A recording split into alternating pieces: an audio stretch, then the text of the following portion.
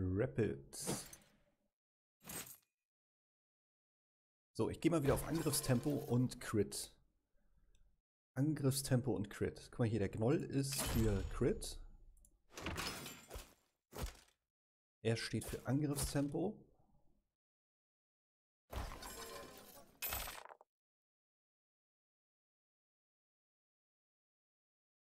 Bräuchte noch einen zweiten für Crit. Die Harpie hat Crit. Geht doch. So, das müsste laufen. Machen dann dreifachen Schaden.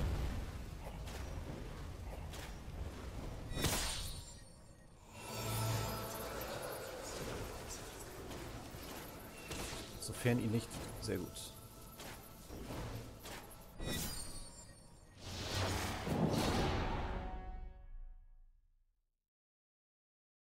Naja, er war ja tot.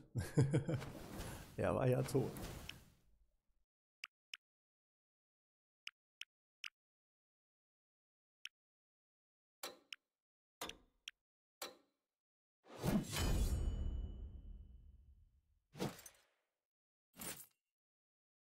So, ich wollte jetzt nochmal ein für Angriffstempo.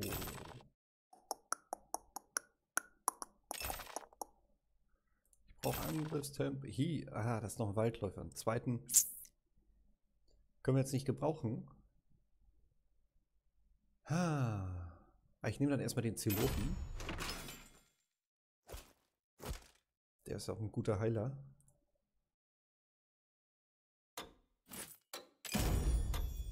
Triade können wir dann verkaufen.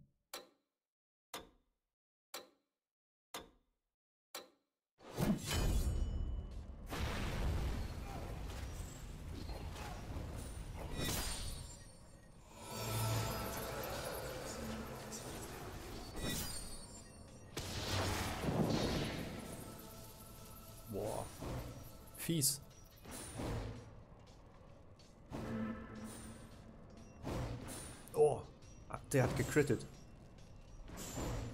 Oh, das war knapp. Alter Schwede.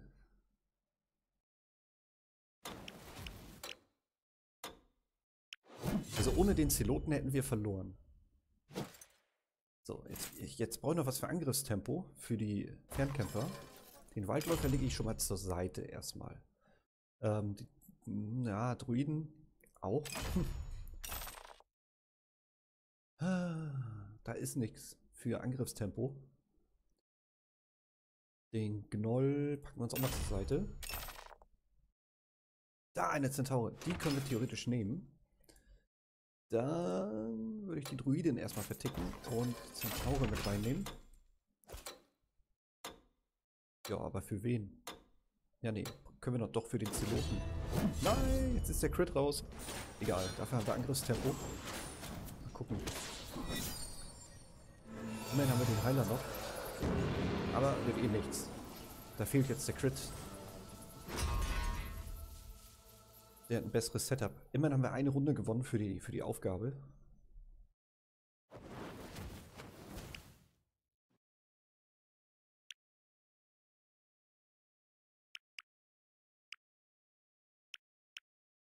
Ja, ja, der hat einen Tank dabei.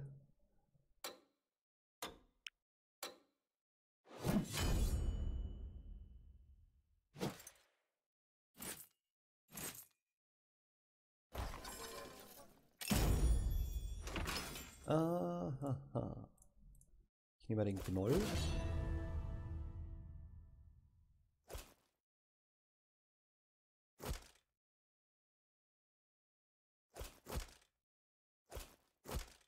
Ich, mach, ich, ich tue mal so. Und guckt mal, was uns hier noch angeboten wird. Der Baumriese sieht gut aus. Nehmen wir.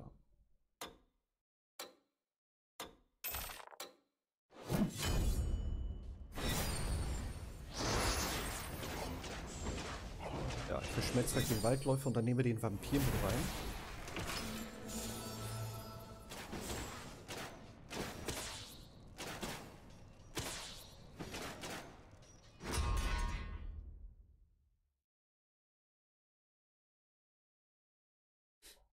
Supi.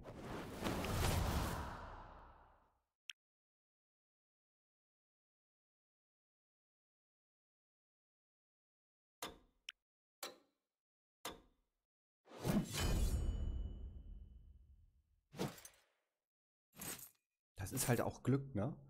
Das ist halt auch irgendwo ein Glücksspiel. Äh,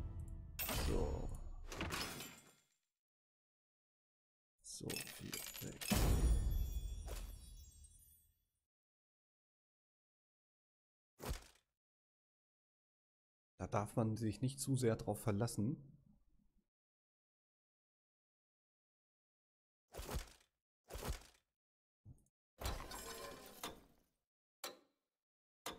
Jo. Das sieht doch gut aus.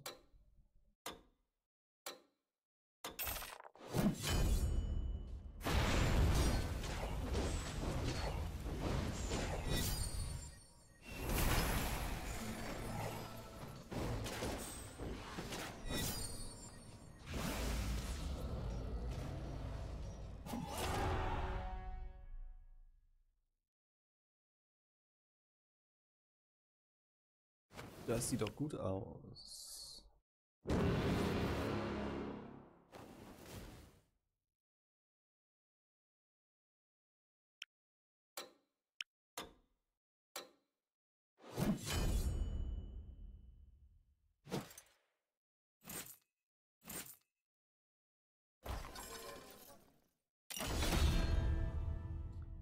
Ah, genau, den Vampir haben wir schon. Den auch. Und den auch. Genau, Centauro können wir direkt mal boosten. Und dann haben wir gleich den roten Drachen. Geil. Ja, den holen wir uns nächste Runde. Was ist das für ein Buff, den er hat? Die Regeneration, die sollten wir auch kaufen.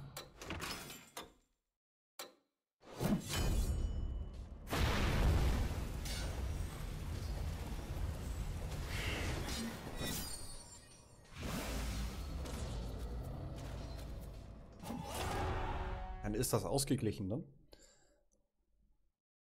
Sonst sterben wir und kriegen ihn nicht kaputt.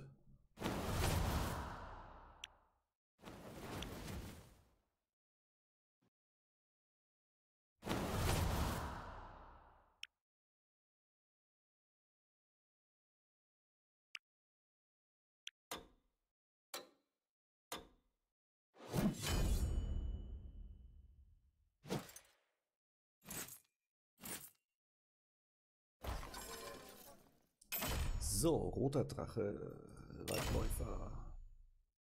Den roten Drachen setze ich mal für den, für die Harpie ein. Der wird ja nun besser sein als die Harpie, ne? Jetzt mal ehrlich. Also wenn die Harpie jetzt noch besser ist als der legendäre rote Drache, ähm, naja, guck mal, allein schon die Werte sind schlechter.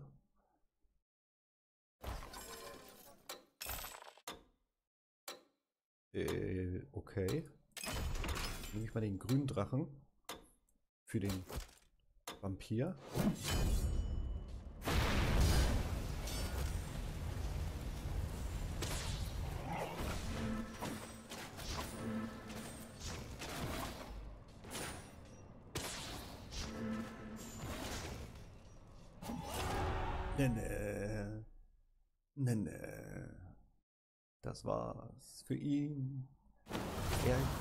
Geht nach Hause.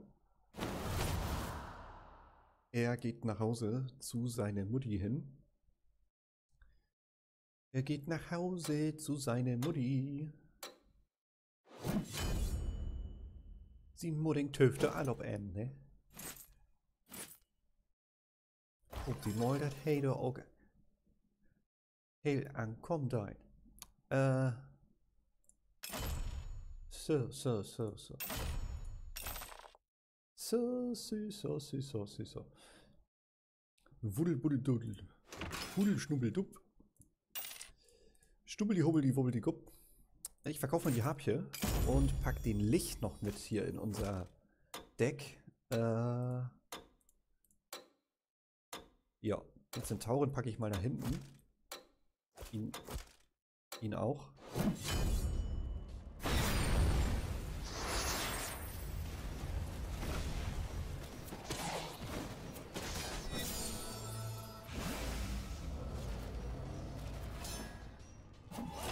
Ich find's geil. Der Gnoll ist halt ein Fernkämpfer, ne? Springt aber über das ganze Feld und schlägt dann mit den Händen zu. Also ist er nur ein Fernkämpfer, weil er vom Weiten auf alle drauf springt.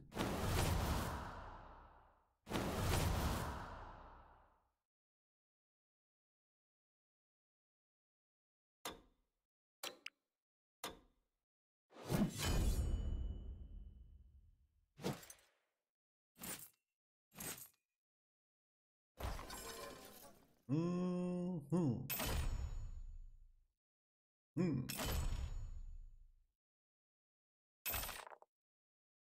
Ja. Das Mondreh bleibt jetzt erstmal auf der Strecke. Ich würde mal den Waldläufer verschmelzen. Den Licht tausche ich mal. Nee. Nee, nee, nee, nee, nee. Das lasse ich so für nächste Runde.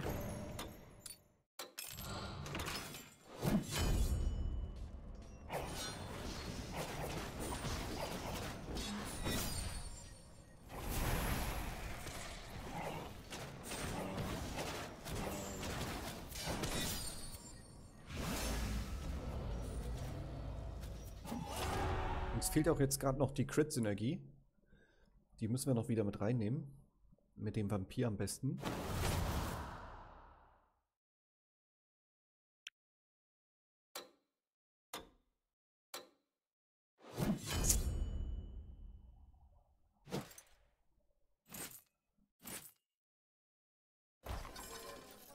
So. Den haben wir. Ähm kaufe mal noch einen Platz. So, und jetzt packen wir den Vampir nochmal mit dazu. So.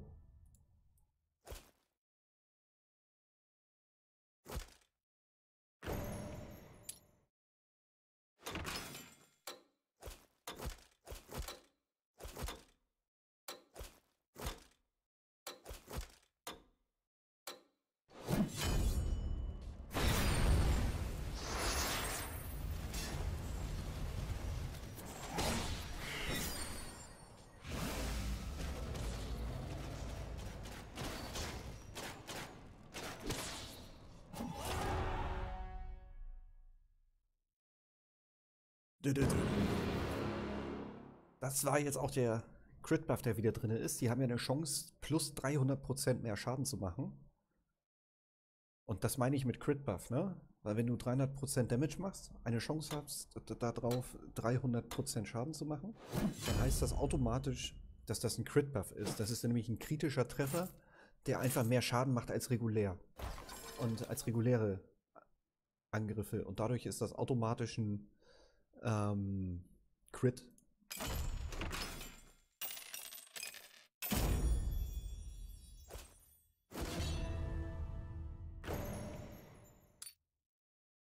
Den Heal nehme ich nochmal mit rein. Und dann können wir gleich Pfeilregen und Drangsalierung, falls wir das hier jetzt überleben, können wir damit reinnehmen. Und unser Setup steht eigentlich ganz gut.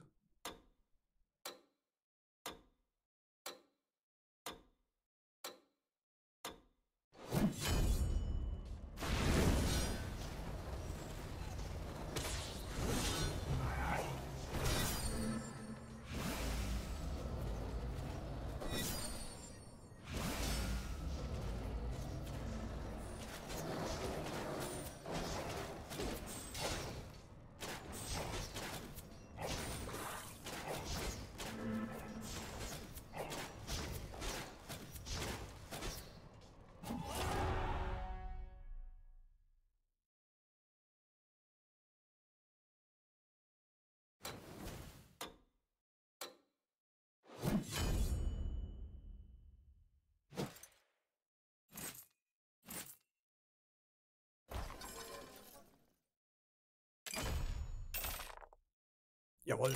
Den Licht konnten wir verbessern. Jetzt haben wir hier nochmal einen roten Drachen zur Auswahl.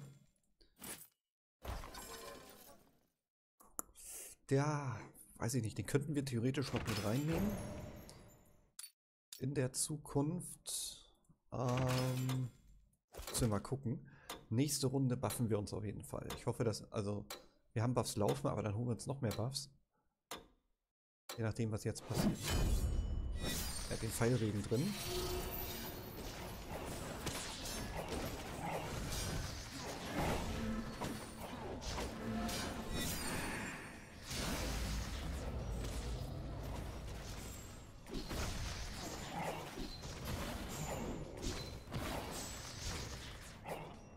falls wir die nächste Runde erleben.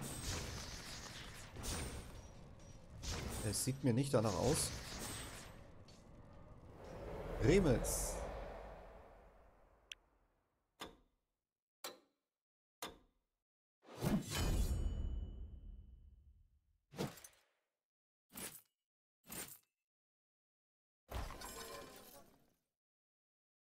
Ähm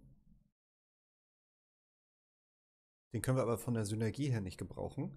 Mit dem roten Drachen könnten wir uns theoretisch nur noch buffen. Für die Synergie könnte ich jetzt die Justikarin erstmal... Einfach nur für die Synergie kann ich die hier mit reinsetzen. Erstmal. Und nehme jetzt nochmal den Pfeilregen mit rein.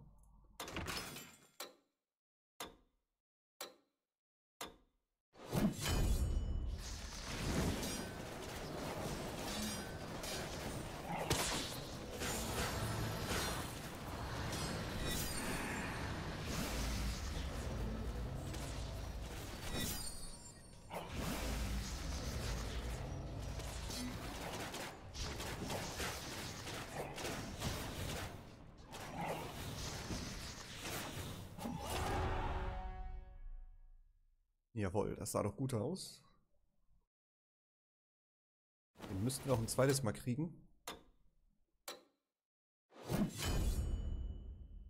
Jetzt wird er aber alle Buffs reinknödeln. Der hat 28 Gold. Hallo, sagt er.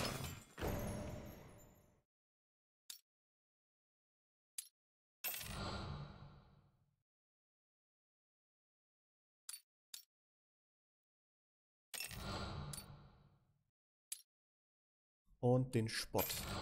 So, wir hatten das höchste Leben. Mal gucken, ob ich das noch auf die Schnelle rausfinde. Der Waldläufer sieht gut aus. Der Lich noch besser. Ja, der Lich. Der steht auch schon gut da hinten in der Ecke.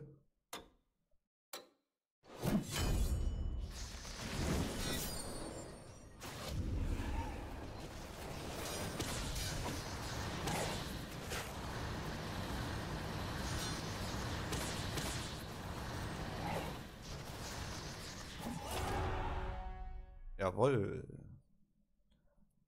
Wunderbar.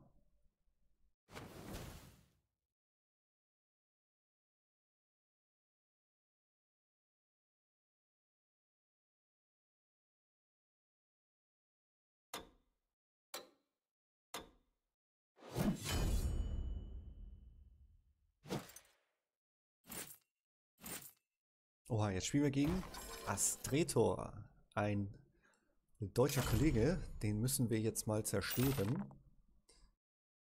Aha, Für die Synergie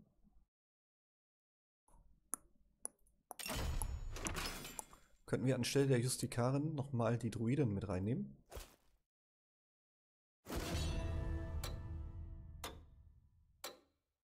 Ja, das sieht gut aus.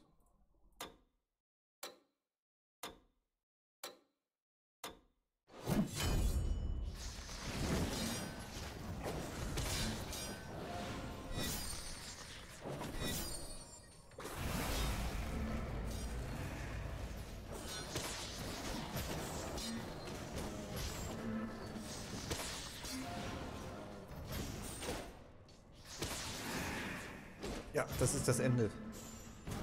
Es ist das Ende. Es ist das Ende. Er hat mehr auf Level 2 gehabt. Er hat mehr auf Level 2 gehabt. Aber immerhin Rang 3. Nicht schlecht.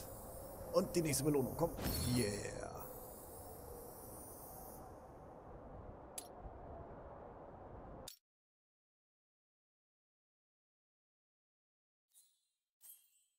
Jawohl. Nächste Runde.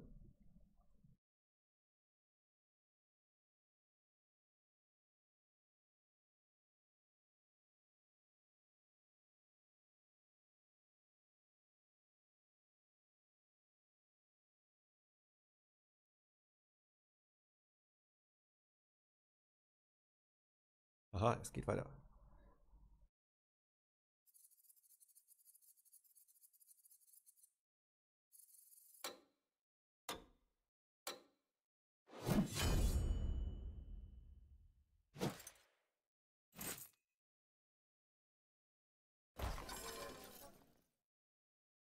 So, also wir brauchen natürlich erstmal hier Damage. So, beziehungsweise Angriffstempo. Ähm, ja, es könnte für den Anfang sogar schon mal gut ausreichen. Dann stelle ich hier den Waldläufer hin.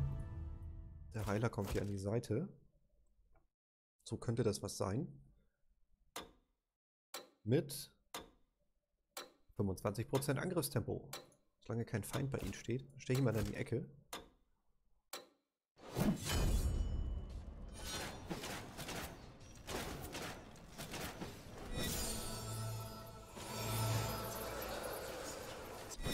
Ach ja, der Lamassu.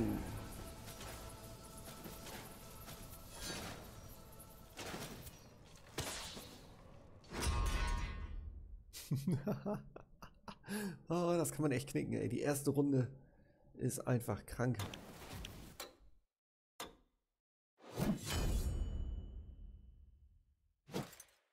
Die erste Runde ist einfach nicht schön. Jetzt hat er nämlich den Nahkämpfer gehabt.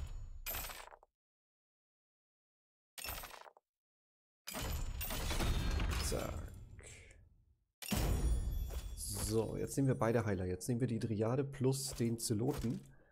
Äh, der Zelot. Ja, doch. Hm. Machen wir so.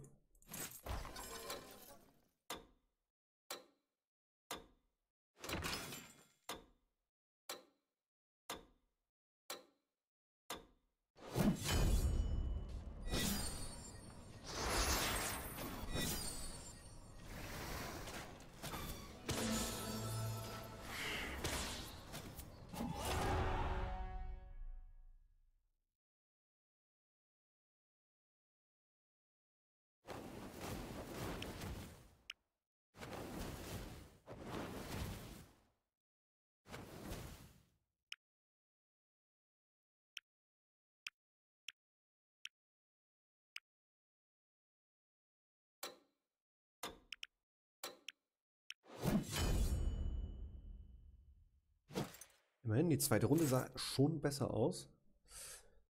Ah, jetzt müssen wir aber auch im, hier im Gespräch bleiben.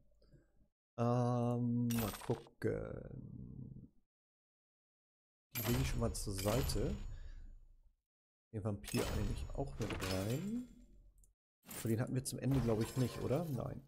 Doch, hatten wir, aber egal. Ich nehme den Baumriesen. So. Die Bank ist dann halt zum Upgraden.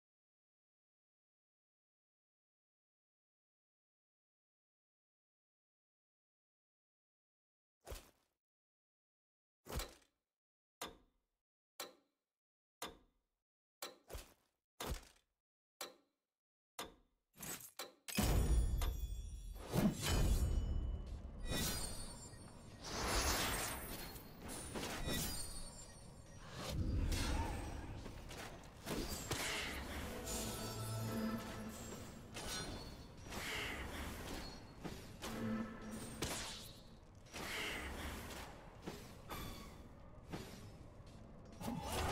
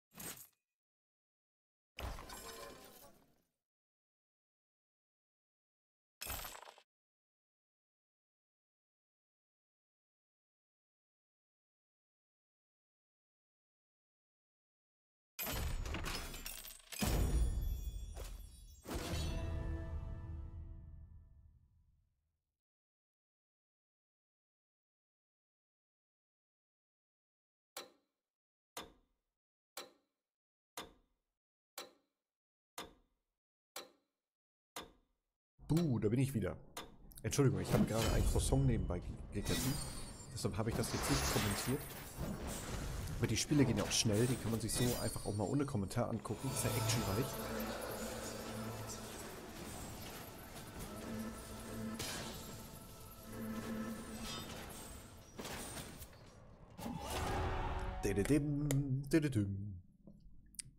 Der Pus ist auch nicht mehr.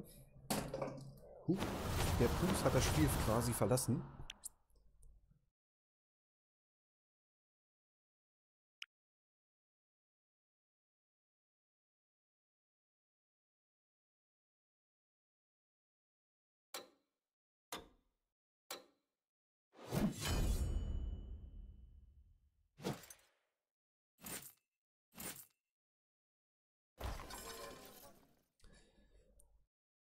So, soll ich die Schleicherin jetzt nehmen oder den grünen Drachen? Ich nehme den Drachen, weil wir noch keinen Drachen haben. Und 2, 4, 6, 8. Packen ihn hier direkt mit aufs Feld. Und ja, das sollte soweit erstmal ausreichen. Alles andere haben wir, was hier jetzt auf der Bank ist, haben wir ja doppelt. Also ist schon auf dem Feld, bis auf die Bäume hier, die brauche ich eigentlich auch nicht mehr dann. So, weil wir ja die anderen Tanks da vorne nehmen. Also den einen Tank plus Nahkämpfer.